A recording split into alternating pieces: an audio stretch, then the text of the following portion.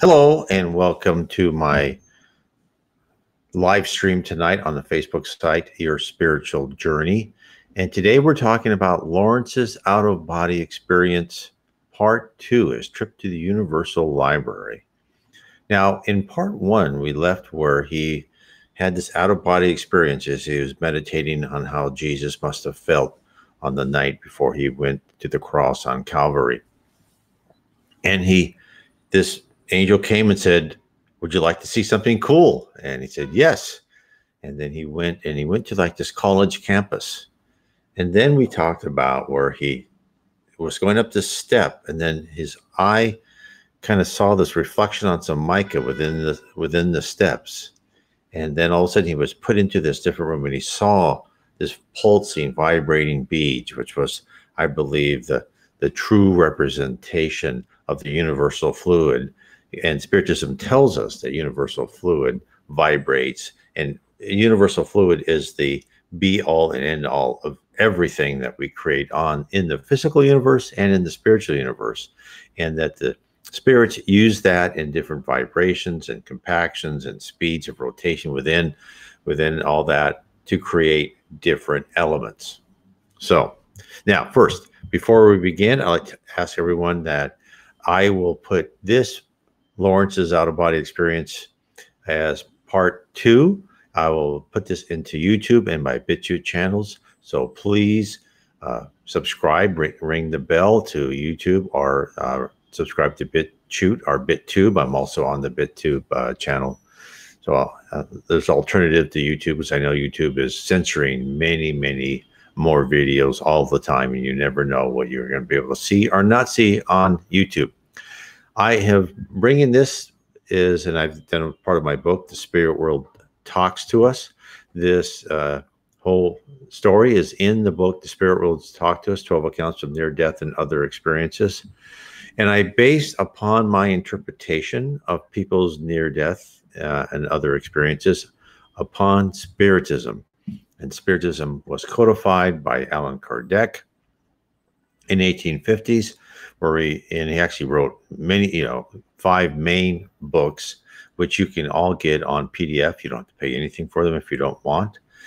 And if you'd like to learn more about Allan Kardec and what a brilliant fellow he was, uh, when he got interested in what spirits, what spirits were talking to him, uh, actually talking to mediums. He was not a medium. He codified 1,019 questions, and he didn't take those and codify those as answers unless they were similar or the same answers from the same question, but with different mediums. Of course, then you can learn more about Allan Kardec in the movie Kardec, and it's on Netflix. It's you can get it uh, in English, you can get it uh, in its native Portuguese, subtitled however you would like to see it uh, you, can see it on Netflix. So please tell your friends about watching Netflix and watching the Kardec movie. It's well worth uh, uh, a, a watch, and it's it will be, as Spiritism says, it, it the central religions of the earth will take the tenets of Spiritism as their guiding direction, which is karma, which you know many already do, of course, I'm not saying this is anything completely original. What is original about Spiritism is the detail, the detail of the organization, the processes, what life is like, really like on the other side of the veil. That is what is revolutionary about Spiritism. It tells you why you're here on earth. Now, let's continue with part two of Lawrence's experience. Now, we're going to talk about energy. We're going to talk about that energy is controlled by the force of will. And we have been told that that will, faith is measurable in the spirit world. So let's talk about that because once we understand our potential as spirits, everything else becomes more clear. We understand why we are on earth to get rid of our primitive emotions, replace those with advanced emotions. Why? Because energy is controlled by our will. And unless we are very disciplined and we get rid of our primitive emotions, how could we ever be uh, given the responsibility of that much power without discipline? So spirits create by thought. And God created the spirit and the physical universes by thought. High spirits carried out the work of God by forming solar systems, planets, and life on Earth. How does thought transform into concrete action? How does an idea guide a planet or change the destiny of a single human?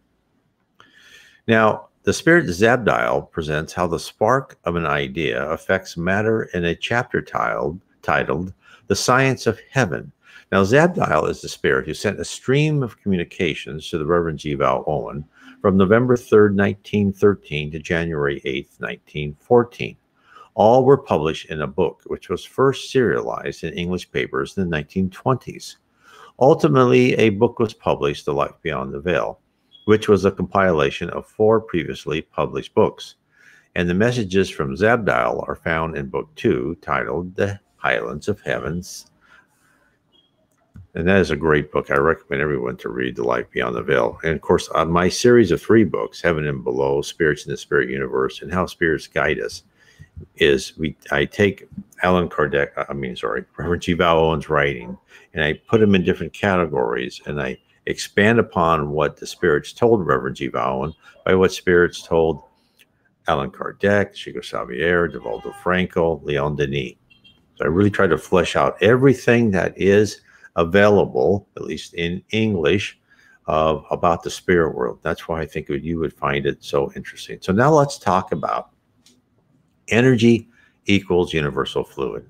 So first, Zabdiel defines what he means by the use of the word energy. This is what he says. Energy, as I now employ the word, is to be understood as that intermediary which couples up the motion of the will with the effect as displayed in the minds of men. We here are trained to this end that we may, by the motion of our wills, transmit by what we may call vibration, our thoughts through the intervening spheres or states into the Earth's plane. It is this movement in vibration which I call energy. So let's understand what he told us, which was just a lot, right? He's t- the spirit universe rests upon a cosmic energy platform called by Spiritism universal fluid. From this flows all forms of matter the will of a spirit, which we are, we are spirits. We may be relatively immature spirits now, but we are spirits and will someday be a pure spirit. The will of a spirit is able to modify the vibrational states and structure of universal fluid. Zabdiel explains further. He's this is what he says. When I use the term vibration, I do not merely mean oscillation to and fro alone, but of movements which are sometimes elliptical, sometimes spiral, and sometimes a combination of these and other qualities. Now, this is from G. Val Owen in the 1910s and 20s. Allan Kardec, in the Spirits book, supplies the definition of matter. This is what he says Matter is the element which enchains spirit, the instrument which serves it, and upon which at the same time it exerts its action. So, hence, the force of a mind, of a spirit, controls and directs matter. And that which facilitates the command of matter by a spirit is universal fluid or energy, as Zabdiel defines it. Allan Kardec places universal fluid in the same context as Zabdiel when he reported that spirits told him, this is Allan Kardec, that the material element must be added the universal fluid, which plays the intermediary between spirit and matter, the nature of the latter being too gross for the spirit to be able to act directly upon it. Although, from another point of view, this fluid may be classified as forming part of the material element. It is, nevertheless, distinguished from that element by certain special properties of its own. It is intermediary between spirit and matter under the directing action of a spirit to produce the infinite var- variety of things which you know as yet but a very small portion. This universal, primitive, or elementary fluid begin being the agent employed by a spirit in acting upon matter is the principle without matter would remain forever in a state of division and would never acquire the properties given to it by the state of ponderability. What is he telling us? Well, first, let's talk about ponderability. Ponderability being the state upon which matter rests as directed by the thoughts of a spirit. The earth is a ponderable planet because it was created by the thoughts of spirits led at the time, as we know by Spiritism, by Jesus Christ. Although, as our science understands today, matter is never at rest. It is constantly in motion, vibrating, but to our eyes, it holds a constant form and is endowed with certain physical characteristics. Our current level of scientific discovery would agree with Zabdiel when he states from this point of view, the atomic system of vibration, which has but of late been revealed to men of science, remember he wrote this in the 1910s, or, or gave this to uh, Reverend G. Val Owen, psychograph, who psychographed it in the 1910s, and of other systems far away in space. The motion of the Earth around the Sun, the motion of the molecules of the atoms are vibrations. It matters not by what degree you measure them, or what the diameter of the orbit. They are of one in kind, and in degree only do they differ from each other. So he's telling us everything is made of universal fluid, and everything is created by different degrees of vibration and density and you know motion. Now let's let's do a thought uh, experiment. Picture a rectangular piece of work, wood Unseen by our sight, it is a mass of vibrating atoms and molecules. To us, it has weight and it is dense. It is wood and it is symmetrical because of the motions within and the composition of the universal fluid that directs it. Now, picture what would happen if the atomic elements were commanded to vibrate more rapidly to alter their shape. The rectangle would no longer be a rectangle and the wood would transform into another substance. Similar to as water changes to steam when heated, matter changes when the energy directed at it by the thoughts of a spirit into something slightly or radically different from whence it began. Zabdiel explains what matter really is. Matters like, and giving us, matters what we see, right? Matter is the wall, matter is the table, matter is us.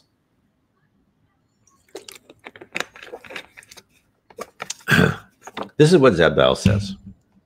Matter itself is the result of the transmutation of spiritual vibration into those of the grosser sort. And these later are now being analyzed by scientists who have come to the knowledge that matter is indeed the result of vibration and that no article of matter is still, but in ceaseless movement. That is correct, but not conclusive for it does not pursue the matter to the end of it. It were truer to say, not that matter is in vibration, but that matter is vibration, the results of vibration of a quality more refound, which is found not in the phenomenon of material things, but in those spheres proper to its quality. So, hence, what he's telling us is matter is material waiting to be transformed by spiritually directed energy. Zabdiel then goes on and describes the process of alteration. That's what he says. But transmutation brings into any such system a change of movement, and the quality of movement being changed, there is also, and of necessity, a change of result. Thus, we, acting always in perfect obedience to the laws laid down by those higher and wiser than ourselves, concentrate our wills on the movement of certain vibrations, which become deflected and transmuted into other qualities of vibration, and thus change is wrought. Now, think of what he said. Think of the power of what he just said that the, by the power of their will, they concentrate on something they change the vibration. They move change the movement change the density. And then they they change whatever was there before a piece of wood a house a mountain a river a lake and they transmute it. So also this modification is usually accomplished gradually and deliberately step by step until the desired end state is attained. After they're done matter or universal fluid that was in one state is now in another state. And in the spirit world, there is no, no such thing as de- degradate, degradation. Sorry. Nothing decays. Nothing rots away. It is there until another spirit decides to change it. It's more a matter of duration. Now, from the beginning of slight alterations brought on by the intended plan of a spirit or group of spirits, all is created and guided. Zabdiel tells us that from when this one process, this singular talent for focusing energy on an object and transforming it, all else follows. This is what Zabdiel says. It is by this method that we deal with the actions of men and the course of nature in all its part. There are manifold classes and companies who have in charge the various departments of creation mineral, vegetable, animal, human, terrestrial, solar, and stellar. Beyond this, also, the stars are grouped together and dealt with by hierarchies qualifying for that great task. Let me stop right there for a second. This is what's so great about spiritualism, as I said before. It is it is revealing how the spirit world works. It is revealing what type of jobs, what our potential is as we leave this earth, as we leave this training class that we're in. I'll carry on with this quote. It is by this same method, then, of the transmutation of energy that systems are gradually developed into worlds, and these worlds furnish them with form and then enabled to produce vegetation and animal life. But this being so, you will note that all life and all development is consequent on the operation of spiritual energy obeying the dictates of the will of spiritual beings. This once grasped, blind force disappears and intention takes its place. Intention of intelligent and powerful spiritual workers of various grades operating according to certain fixed laws, but within the bounds of laws free and mighty. So this, I mean, this com- this completely violates our current scientific knowledge of the physical universe.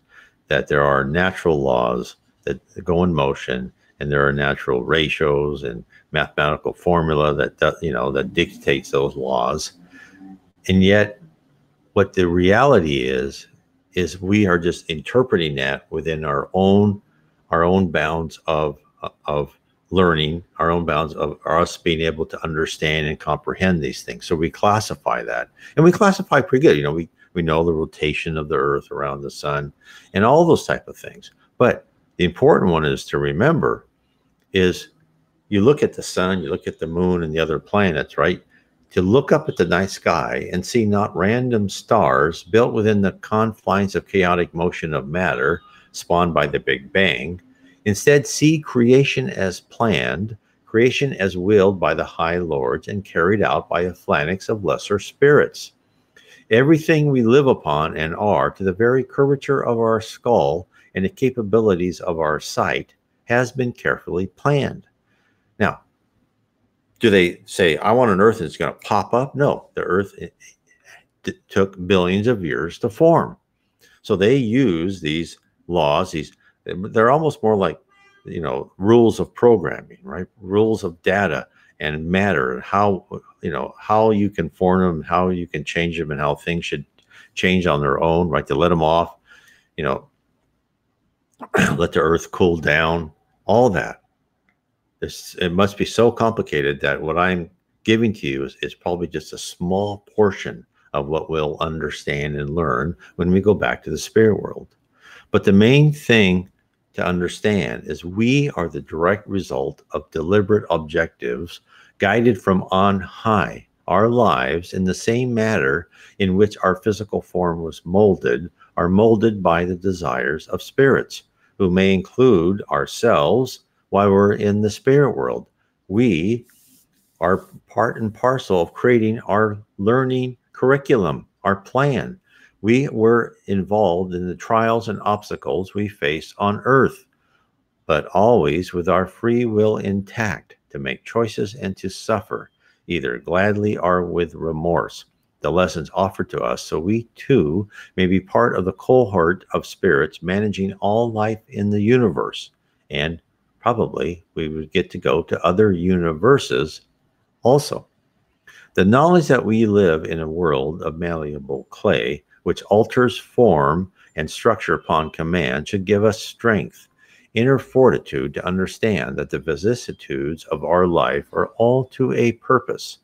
Everything we experience is not without meaning, for all is aimed with love and kindness. Worlds, nations, and races are born, forged by heat, and deteriorate, all for a designed cause. Zabdiel reinforces this point. That's what he says. Thus you will see how little it matters that when the time comes for you to cast off the body of earth, you stand discarnate. Your earthly body was a body of vibrations and no more. Very well. You now have a body of vibrations more substantial and enduring because of a higher quality and near to the energizing will which brought it into existence and so sustains it.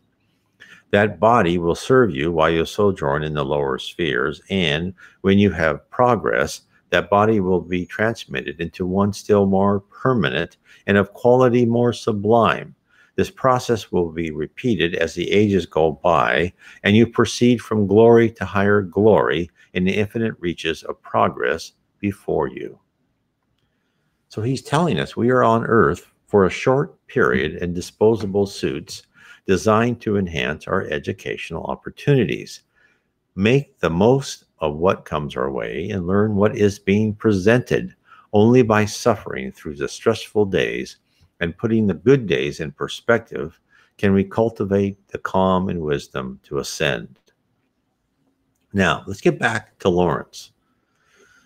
So we left him in that room, right? He, Lawrence was in total awe, and he was inside that small, as he thought he was, a small fragment of mica within a block of granite, which had been shaped throughout centuries by the steps of students.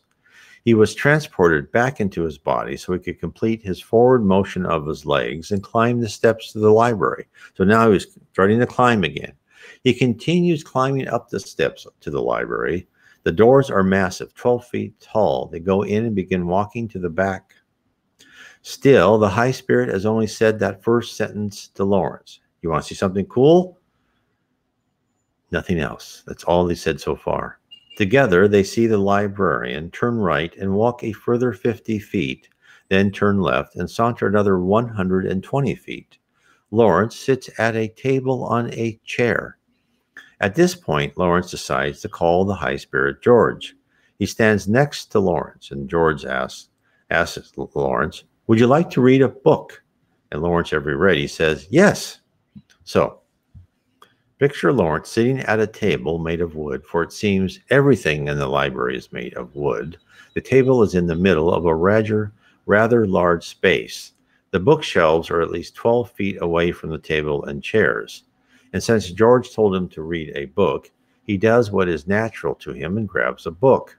All normal, except in his out of body experience, he doesn't get up from the chair. He extends his arm 12 feet and he selected a book, as if he was in a science fiction movie where one of the characters could elongate his limbs at will. Lawrence did the same. Upon retrieving the book, his arm returned to normal. It all seemed commonplace at the time. Throughout all of this, George st- stood mute. Lawrence opened the book and turned pages faster than a blur, and he understood everything.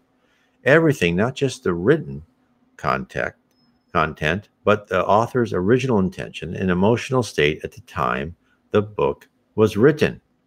Now, one could believe that this phenomenon, this is what I love looking at these experiences, and the NDEs, and looking at them through the lens of Spiritism because these are all backed up by other people's experiences and by spiritism. So you could believe this was just a figment of Lawrence's imagination. That's a dream. His arm extended, and he read the book really fast. And not only did he read the book, but he understood what the author's intention, his emotional state, everything. Well, there are two examples of people who have lived on Earth who have had similar abilities. First, the American Christian mystic Edgar Cayce, who could put a book underneath his pillow, wake up the next morning, and know the context.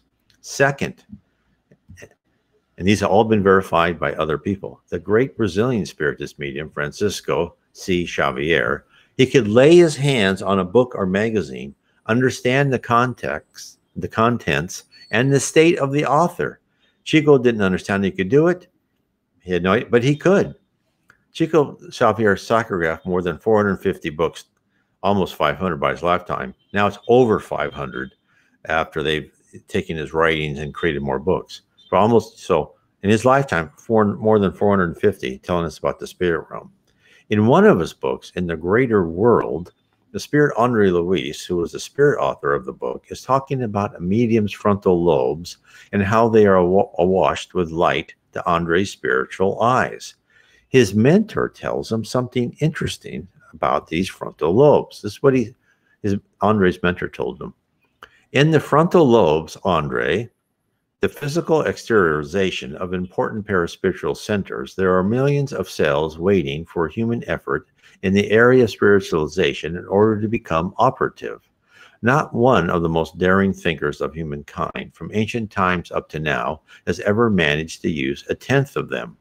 They are energies of a virgin field, which the soul will gain not only through evolutionary continuity, but also through self education, moral improvement, and sublime elevation. My friend, only a living and revealing faith can initiate such an endeavor as an indispensable trailblazing light for individual progress. So, this is why you need to study Spiritism. This is why you need to be more spiritual and take time to not only just love other people, but you have to understand why you're here and understand so many more things. The spirit world doesn't just equip us with faculties without a purpose. My, uh, my hypothesis is that at some future state of our planet, probably when we become a regenerative, regenerative or happy world, the powers of our mind will be unlocked, but also by ourselves. Then we shall, like Lawrence, be able to absorb a book or any data at lightning speed. Let's get back to Lawrence.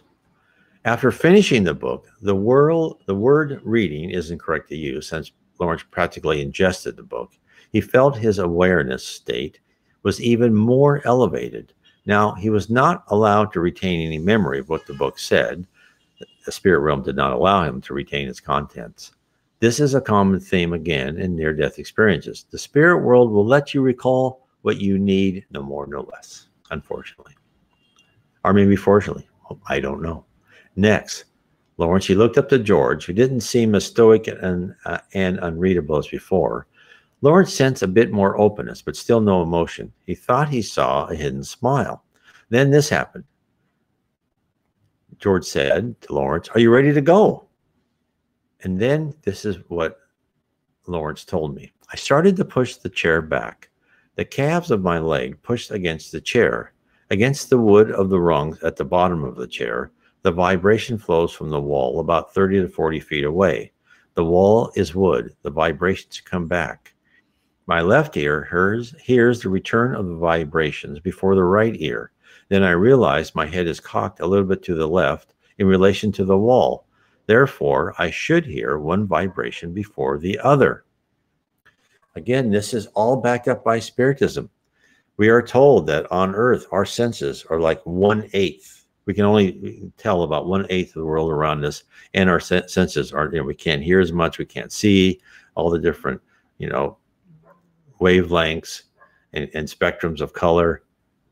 Again, this is all backed up by what we have been told by spirits to spiritist mediums. So think of that. He, he had an infinitesimal angle of the head, which translated into a minute difference in distance between the left and the right ears, and the wooden wall is fully realized by Lawrence's new sensitivity. This is how you shall be when you return to your real life, your life as an immortal spirit. So after Lawrence experiences new heightened sensitivity, he rose and walked out, walked out the left door, of the double doors of the library. This time, George opens the door, and both George and Lawrence stand out on the landing. Lawrence is outside once again, enjoying the vast college campus. Its greenery, the clear paths and trails, with closely cut lawns. Lawrence spots a woman who is walking up the sidewalk and is slowly turning to walk up the steps. Whereupon George thinks Lawrence hears George's thoughts in his mind. He says, Larry, do you think she read that book? And, and then Larry, Lawrence said, Probably not. Then George says, in a neutral manner, Do you think you are better than she because you have read that book? And then, and then Lawrence says, No. Now, when Lawrence told me this, I smiled and realized immediately that before I understood Spiritism, I too would have said no, but only because it was a correct thing to say, not that I believed it. For in my mind, I would have thought, of course I am better. After all, I took the trouble to read the book. She didn't, therefore I'm better. And I believe the same sort of thinking went through Lawrence's mind. But then, after he said no, he truly realized that that was the right answer. Not just the correct answer, but the right, the absolute true response. Right after Lawrence said no, he felt no sense of judgment, no sense of George pondering the answer. Instead, he felt lighter. He felt a burden was lifted because before his no was not really true, but now it became true. Lawrence, for the first time, felt it in every fiber of his body. No greater gift could have been bestowed upon Lawrence. Then George says, Lawrence, there will be a time when your curiosity will gain you access to the infinite library of the universe. And then Lawrence told me as I was talking to him, he says, Words are more than words. They are a map for you to a place of understanding. As I listened to George, each word brought me to a place. As he spoke to me, I went to the Universal Library. Then I came back and noticed that George had another hidden smile. I came back lighter, less dense. I couldn't remember a thing from my visit. Then George disappeared. Lawrence woke up and cried. Now, that is a truly remarkable experience. And he, Lawrence, witnessed the inner workings of the universal elements called universal fluid by Spiritism. He felt the immense power and capability that life as a spirit provided. He inhaled knowledge at an astounding rate. And lastly, most importantly of all, he was taught a lesson. Now, our physicists, mathematicians, and computer scientists are all trying to figure out the basic, basic building blocks of the universe the theory of everything is still elusive. Now, while I don't pretend to understand the math behind their theories, I do believe as we become more adept at understanding computers, data storage, transmission, and artificial intelligence, all of this in combination with knowledge of our physical universe will begin to expose the truth.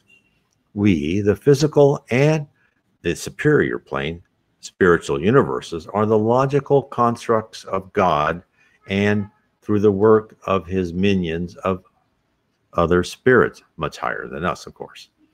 First, there existed a timeless dimension. Then, to better prepare and train intelligent servitors, a physical plane was created to provide the required environment to mold our character, to improve our character.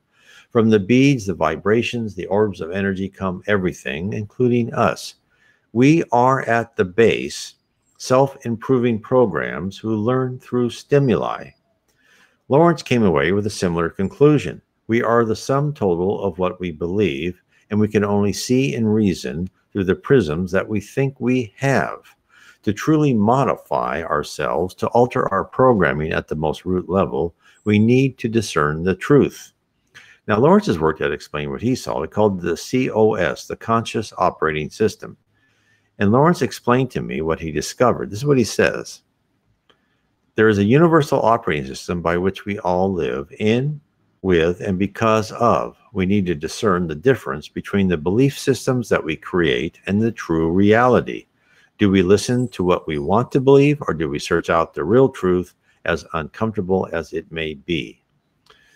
Now, interestingly, as he said that, when I was given a uh, intonation one and it was part of the intonation was i was uh, a medium gave that to me from a message from high spirit. Is one of the says is for me to search after the truth the real truth. And she also wrote to it says she said god wants us to know the spirit world wants to know there's no such thing as a truly evil person or truly perfect person whatever. We're all we're all shades and but we all get better as we go And also, to, so not only that, is that I believe, and as you know, Lawrence explains it one way. My way of explaining it is we are like this app. Think of a cell phone. And a cell phone has this basic operating system. And as it becomes more sophisticated and you add more memory and more applications, you can do more things. You can go out and retrieve data from further away, from different places. You can communicate. You can do all sorts of things. We are at base a logical construct. We are given a body that we think of what we look like through all of our thousands and hundreds of thousands. I don't know how many different lives of training we have. And then we're trained on these physical worlds, and that is the outside stimuli. The outside stimuli are the trials and tribulations we are going through to make changes to our character and personality. And in fact, you see this word many, many times. They, they, they don't say so and so, they say the personality. And they identify us as a distinct personality. Now, why is that? Well, as a spirit, I can look however I want to. I can dress however I want to. In fact, in one of the books, um, the uh, Memoirs of a Suicide, this one spirit walked onto the stage as looking as one thing, and then he, as he was walking, he transformed himself into another person, a person who had a relation with the other person on the stage who he didn't know. So you can't say, oh, that spirit with, uh, you know, dark hair and green eyes, and he's about 5'10. No, that spirit can be any size he wants. He can be, you know, he can, you know, and I've read spirits with like, you know, this kind of a bluish tint or a, a kind of a gold, you know, skin color and, and you know, all sorts of different things that you can look how you want to look. So you can't you can't say a spirit looks like this. This is why I also would just like to say, you know, for you know, as an aside, this is why this whole thing about you know people worrying about different races and different cultures. It's all unimportant. All all all this is all this this is different races different cultures different you know whatever you are in as different economic eh, you know levels of what you're born in. It's all there to teach you something. And it's all unimportant because we're all spirits and everyone is learning something that they're supposed to learn in whatever shape or form physically they are in at that moment. But when they are out of that diving suit that thick heavy suit they are a spirit they look however they want to look. And they look how they want to look through all this different stimuli in life after life has been planned for us and also we're probably part of it by the spirit world. So, again, I believe we are a logical construct, and that we and that we our job here on Earth is to improve ourselves and to improve the beauty of that of of that personality because we are all unique personality this is the genius of god and the system he created if god wanted to create everyone perfect and the same he could have created us all the same. Instead, he gave all of us free will. And that free will, if you want to find a reason for all the chaos and inhumanity to other men on earth, is because we have free will. God could have made us perfect and all nice people, all wonderful people. We all been boring as whatever, and we wouldn't have had any new ideas or anything. Instead, we have free will. That means we can be primitive, we can be irresponsible, we can be horrible to each other, but eventually, through eons and eons of training, we become, we get rid of our primitive emotions and we replace them with advanced emotions. So I'd like to end this with a poem by Lawrence. And this is what he says uh, Paradise Found. This is his poem. Deception passed to paradise lost. Humanity pays an identity cost. Facts are fiction, truth are lies. These are the beliefs that filter our eyes. Change your beliefs within your brain to create what your heart does yearn to gain. Beliefs are illusions of the truth they've hid, but the truth is a reality of what truth actually did. Change your lenses and you will change what you see. Paradise is found, man's to be free. And that was uh, written by, by Lawrence uh, in 2014. So it was a wonderful, wonderful poem, and it, it, it's, it's just amazing um, story that he, you know, I mean, experience doesn't say story, uh, experience that he went through. So if you would like to uh, read more about people's NDEs, there's my book, The Spirit World Talks to Us 12 accounts from near death and other experiences. Now, if you would like to really learn more about the spirit universe and what I've talked about here, I recommend you read my series of three books, Heaven and Below, which talks about heaven, uh, around the areas of around the earth below heaven, talks about Jesus Christ as he is in heaven. And then the next book is Spirits and oh, put down, took down the wrong thing. Find it again. Is Spirits in the Spirit Universe, Book Two. And that talks about the spirits, the attributes of a spirit, how we go through education, how to become perfected spirits. It tells you what you're going to go through when you leave this body and you rise in heaven. And there are multiple levels in heaven and how you get there and what you will become. And when you come go from one level to another, you don't just get a piece of paper saying you graduated. You actually get more power, more attributes. And then the last book of the series is how we are guided by spirits, how spirits guide us on earth, how the earth is guided, and how the earth will change from a planet of regeneration to a planet of, I'm sorry, change from a planet of atonement to a planet of regeneration. So I want to say, everyone, thanks for listening to me. God bless. God bless.